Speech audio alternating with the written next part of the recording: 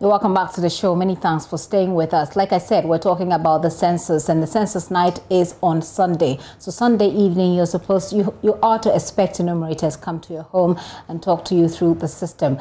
Well, we want you to have an understanding of what your responsibilities are, what you can demand or ask of those who are coming to your home as well, and the importance of this process. Well, let's see if we can make sense of it. I have here in the studio Dr.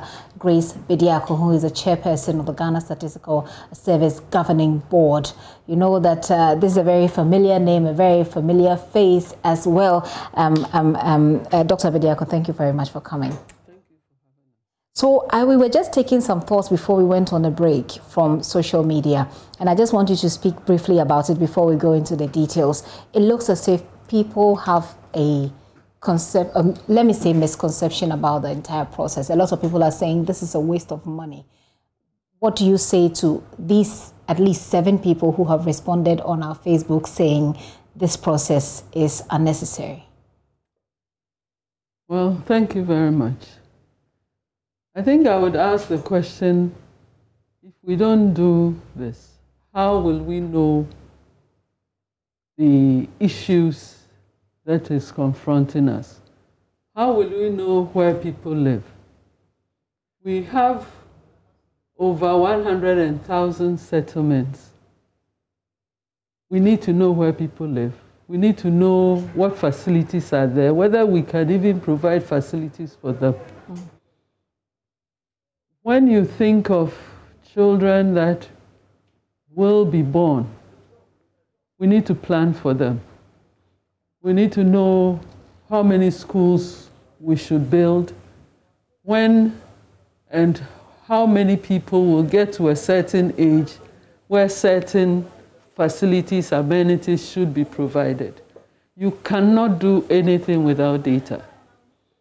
And expensive though it seems, when you calculate it's less than, um, let's say, 20 Ghana cedis per person. That's 20 Ghana cedis times the estimated 30 or 31 million yeah. people there are. Yes.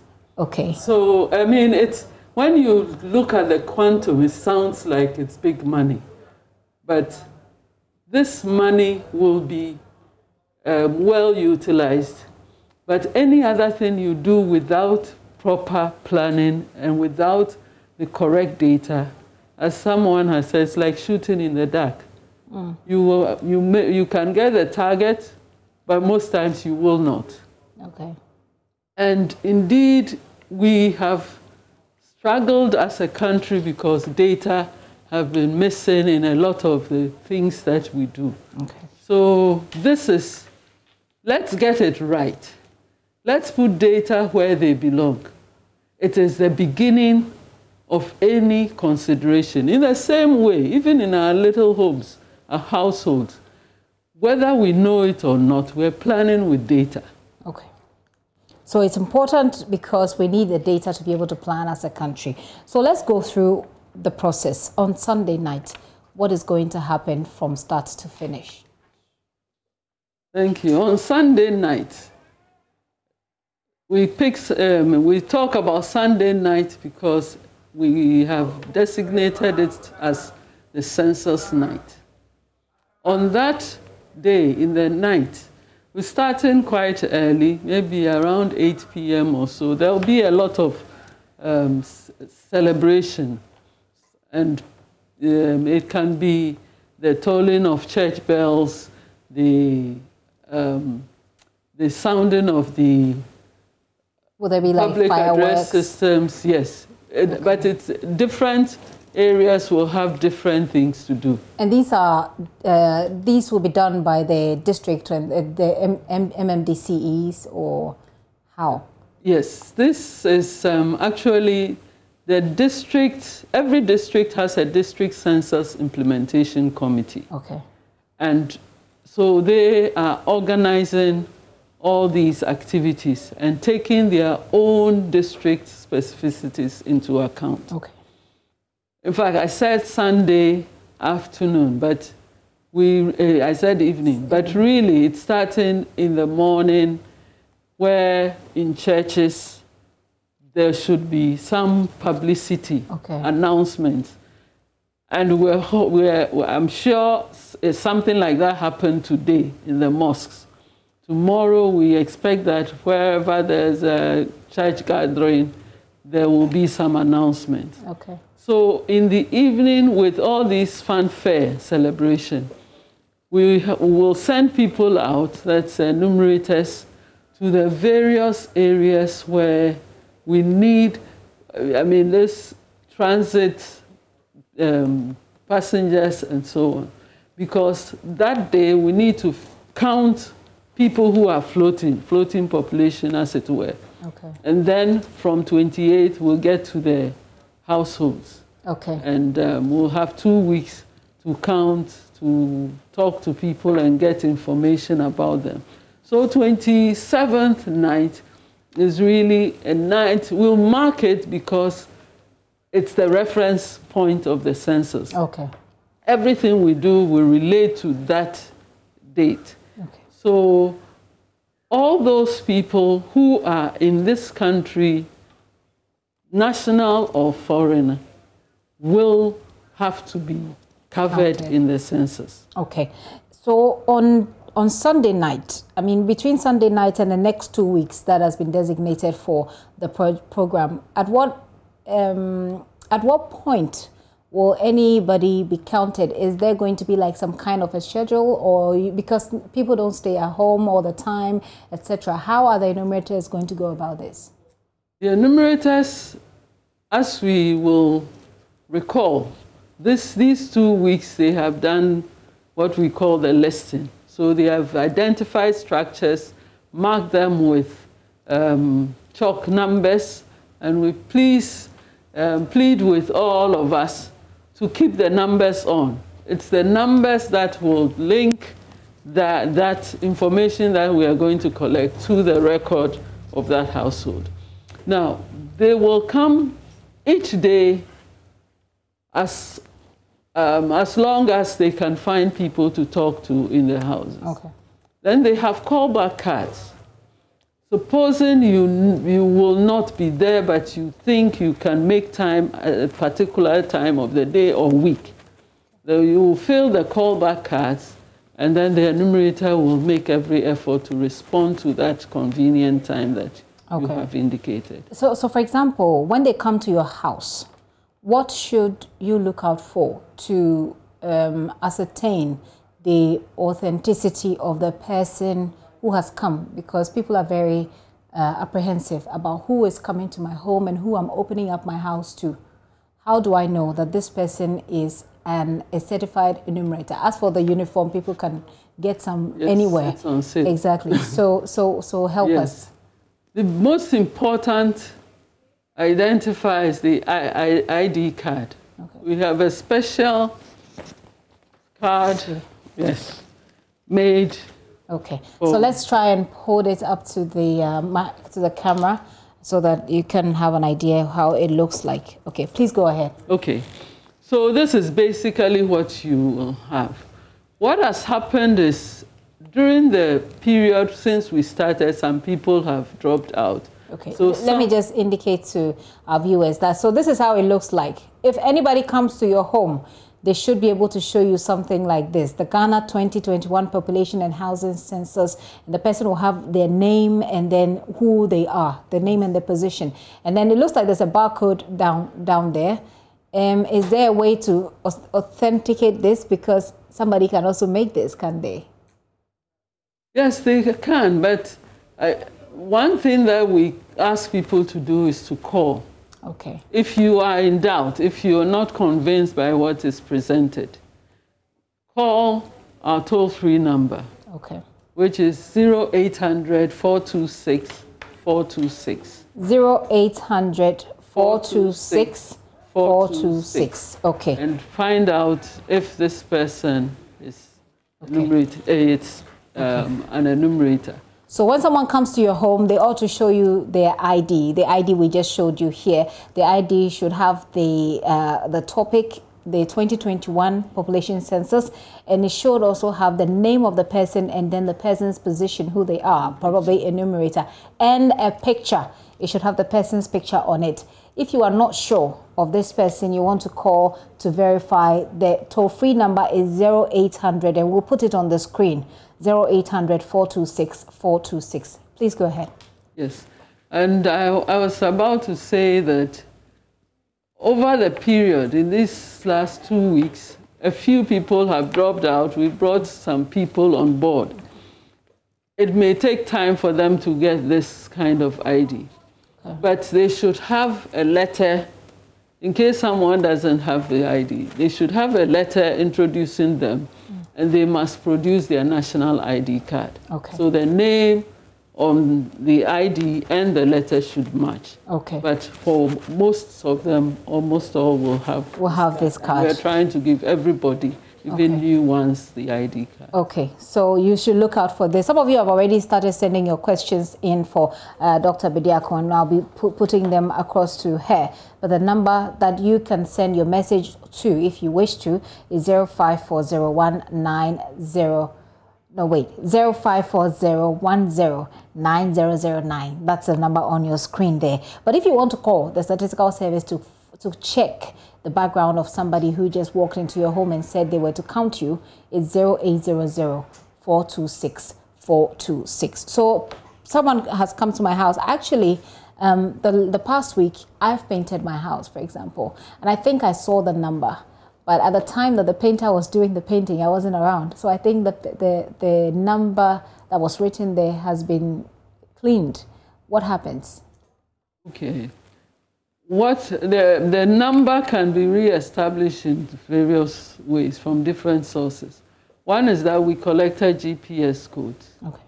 Uh, uh GPS codes, but we also took the um, digital address. Mm. So if you, your structure ha has a digital address pasted on it, it will, they can pick it up and it will match um, the record that has already been taken. And if it doesn't? If, it if you don't have, the, the numbers are written in some flow, okay, direction. Consistency. Yes. So if it's one here, the likelihood that the next one will be two is okay.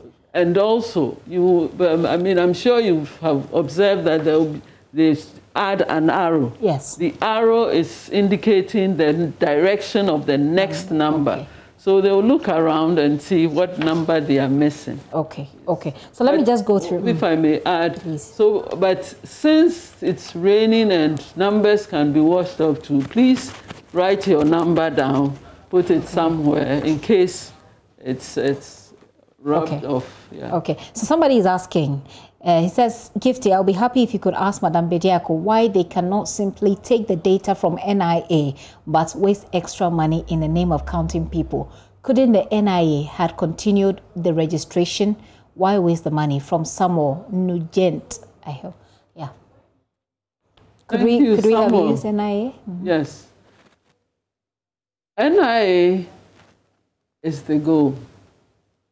Ultimately, one day we, we should develop our system to use NI, but we can't use just NI. Mm. The births and deaths registration has to be complete because you need to be able to eliminate those who have passed on. Births have to be in your um, identification system mm. to be able to get the complete picture.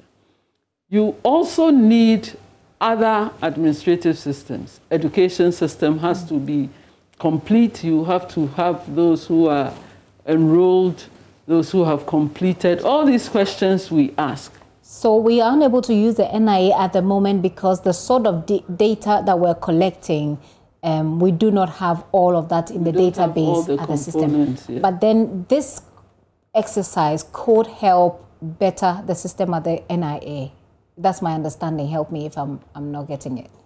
No, um, this collection, this um, census data collection is governed by very strict confidentiality laws. Okay. When we collect census data, we can only use it for the purpose of um, statistics, administrative um, planning, and okay. so on. So we cannot release individual records. This is why we need to collect this data. We cannot make census okay.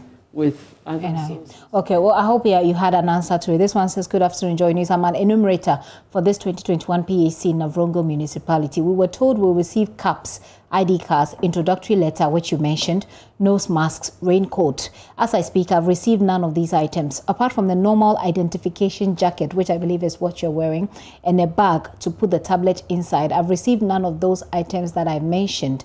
They brought the raincoat, but some of us didn't get because they were few. Please send our grievances to the officials. Oh, thank you. We'll have to apologize for that. All these um, we keep sending these uh, logistics, and uh, he should he should receive all that we have said he will receive, because um, this weekend, in fact, from yesterday, we've been shipping all the um, materials that they don't have yet. Okay. We have received a lot of.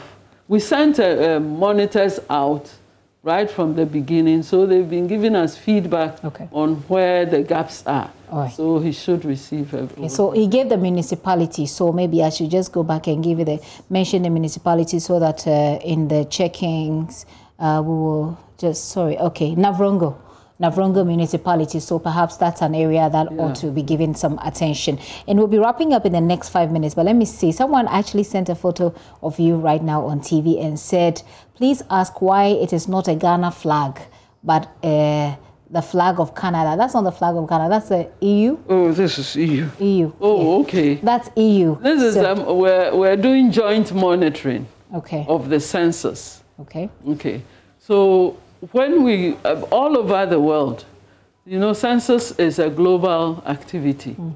It's a national, but it's also governed by global um, statistics okay. um, laws or standards. So we usually have visiting or international monitors, okay. even though we have our national monitors. So this is the jacket they will be using. So okay, this is a jacket that we'll be using for the process. Yes. Okay, so it's not okay. Oh, for monitoring. for monitoring. So this is for those who are monitoring, monitoring. only. Okay. So this is not the uh, Canadian flag. This is the EU's um, uh, emblem. Jointly. There. Okay. So this one says, please ask her why standby workers not paid were not paid after they, they, they wasted productive time for the workshop and long in the long run they were not selected after going for interviews and risking lives. So some people were apparently interviewed, but, but, but were not included in the process. Yes, the process was like this.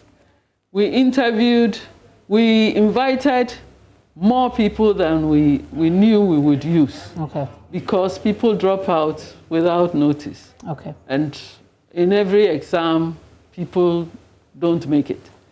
So we have a certain percentage. After that, we invited people to be trained and again, there are people who dropped off. Then we have standbys. Standbys are those who pass, but we cannot take them on board. Okay. But everybody who came for the training had the same thing. Okay. They had T and T. And everything. And, um, okay. We, we, we have to uh, wrap it up here. So let me take your final words. What should people take away from this conversation today, even as we wait for Sunday night? Thank you. Census is an important activity. It's, it's, it's a, a national exercise and it's not only done in Ghana. All over the world for over ten, a period of 10 years, census is conducted in a, one country or other. We, the citizens, um, the population needs to cooperate to get good data. Yes, we're saying it's expensive, but think of if we don't do, get it right, then we would have wasted money. So we need everybody's cooperation to be able to do this right, and the data would then be beneficial to us. Yes, let's be careful, and so let's make sure that the people that are coming are people that have actually been sent. Yeah. And um, do you have any security arrangements? For those who are coming, the, the enumerators? Yes, we are working with the Ghana Police Service. And so in every district, they have arrangements um, for people going out, especially they, uh, they've identified the hotspots and therefore they will guide our enumerators as to where to go, when, and with whom. Doc, thank you so much for coming. It's been a while since we've seen and heard yes, from you. Yes. A very long while, I must say. And so we look forward to a very good census and we look forward to uh, the impact of the census on the lives of the people because people believe that when they're counted, then the state should be able to plan properly yes. for their lives as well. Dr. Grace Bediako is the board chair of the Ghana Statistical Service and she has been answering some questions for us on the census, which starts on Sunday. Thank you very much once again. Now,